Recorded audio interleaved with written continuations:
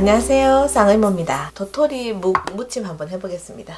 상추를 좀 넣고 대파와 양파 약간 그리고 고추 당근 약간만 넣고 묵을 한번 무쳐보겠습니다. 이렇게 두 개 합치면은 한 350g 정도 됩니다. 묵이 두 개 색깔이 다르죠? 이거는 아, 껍질을 벗겨서 만든 무기고요. 뭐 도토리 껍질 있잖아요.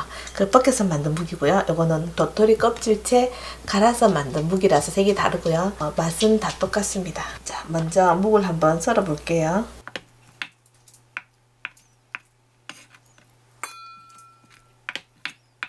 자, 그리고는 상추를요. 한 줌만 넣을게요.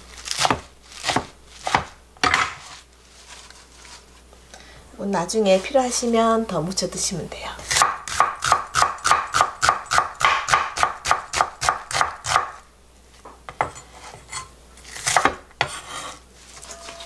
대파 조금만 넣고요.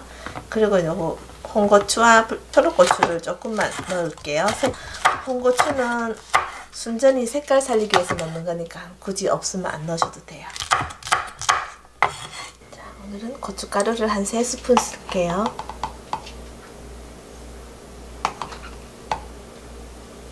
진간장입니다. 진간장을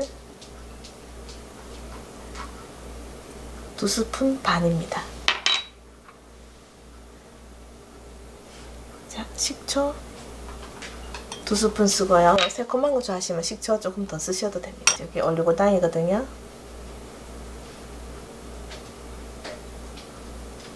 올리고당 두개 넣고요. 마늘 반 스푼 넣겠습니다. 여기다 멸치 액젓을요. 이렇게 듬뿍 한 스푼만 쓰겠습니다. 자, 참기름을 좀 넉넉히 쓸게요. 한 반 스푼. 당근을 제가 조금 채 썰어 놨었거든요. 이 양념을 넣어서 무치는데요.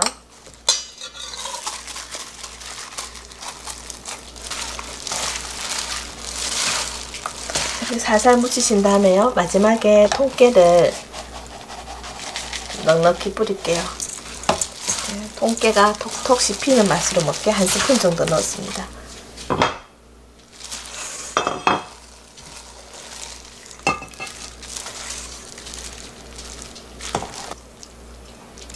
도토리 묵 무침이 다 됐습니다. 상의모였습니다. 감사합니다.